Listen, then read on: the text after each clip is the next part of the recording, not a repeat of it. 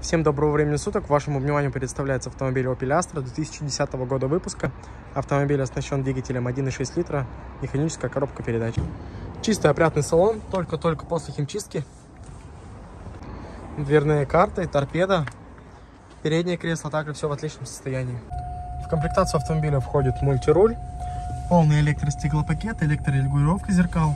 Здесь у нас блок управления светом, также присутствует датчик света штатная мультимедиа, отопитель салона с кондиционером. Все отображается на данном табло. В данный момент автомобиль заведен, никаких ошибок на табло не горит. Пробег автомобиля 87 тысяч километров. Если вас заинтересовал данный автомобиль, номер телефона и адрес вы можете найти в объявлении.